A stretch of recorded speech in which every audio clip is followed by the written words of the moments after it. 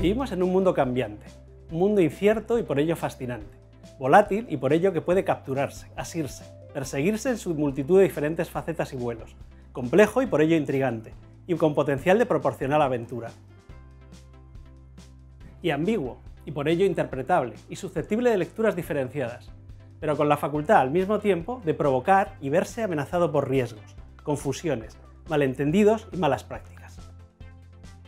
La mayoría de las amenazas que encontramos pueden verse minimizadas mediante la adopción de una serie de sencillas medidas básicas que deberíamos conocer y mantener actualizadas y una actitud prudente y vigilante que nos lleve a actuar con precaución y sentido común en nuestra actividad en línea.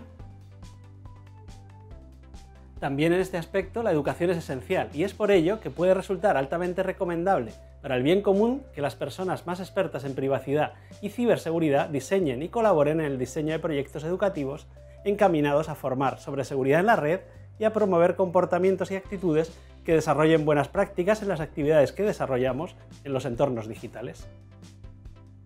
Mi nombre es Suse Pastrana y te doy la bienvenida a esta experiencia de aprendizaje del Instituto Nacional de Tecnologías Educativas y de Formación del Profesorado, que lleva por título Diseño de Proyectos Educativos sobre Seguridad en la Red.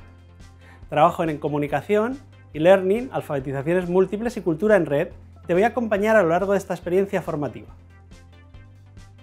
El seguimiento del plan de actividades del curso te permitirá repasar los principales riesgos y amenazas relacionados con la protección de datos personales propios y ajenos, con la identidad digital, con el respeto a la privacidad de los demás y con la protección ante determinadas amenazas y fraudes.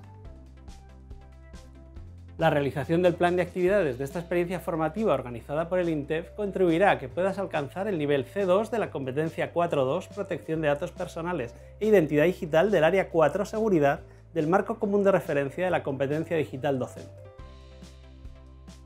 Además, al completar satisfactoriamente este curso, conseguirás una insignia digital como reconocimiento del aprendizaje desarrollado mediante la realización de las diferentes acciones formativas propuestas y que podrás almacenar, gestionar y mostrar desde la mochila Insignia Sintef.